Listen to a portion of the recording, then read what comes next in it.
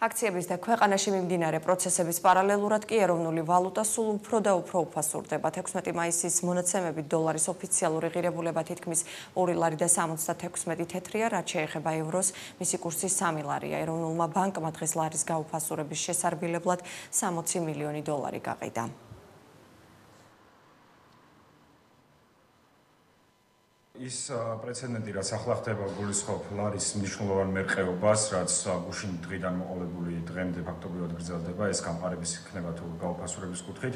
ხოლო და მხოლოდ განპირობებულია პანიკით იმ პანიკით რაც შეექმნილია ქვეყანაში სამწუხაროდ და შესაბამისად სწორედ ამან განაპირობა ის რომ ლარი ესე მკვეთრად გაუფასურდა. და ამ ყოველთვის თავი პრობლემა არის ის რომ ოცნების ხრიდან მიღებული რუსული კანონის შემდეგ ძალიან ბევრი ადამიანი გულ დაპანიკდა და მათ აირჩიეს დოლარი და არა ლარი, რადგან დოლარი უფრო მეტად საბდო, ასე ვთქვათ, ვალუტაა.